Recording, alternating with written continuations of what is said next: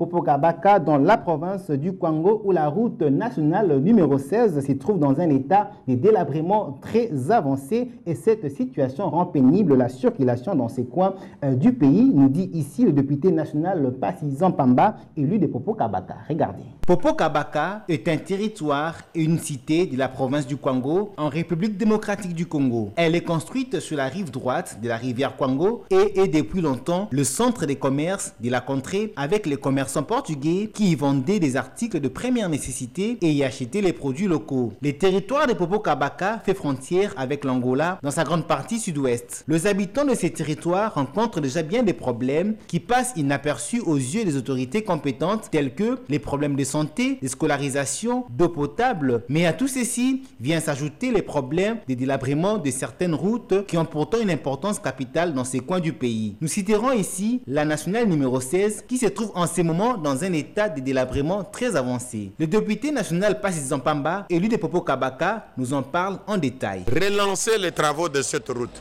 Allez y voir aujourd'hui. Et vous regardez dans les images. Jusqu'à preuve du contraire, les routes que vous vivez, ce sont les routes de la ville de Kinshasa. Mais à l'intérieur du pays, où on produit, où il y a les produits agricoles, qui peuvent, n'est-ce pas, renflouer la ville de Kinshasa pour essayer de répondre aux besoins de la population.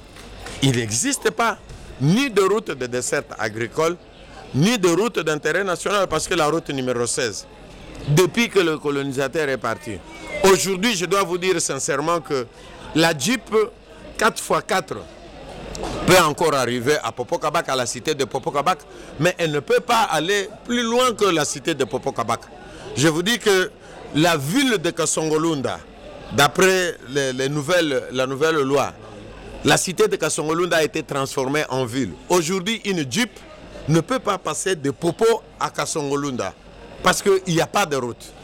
Et les commissaires spéciaux qui sont là n'ont même pas les moyens de leur action.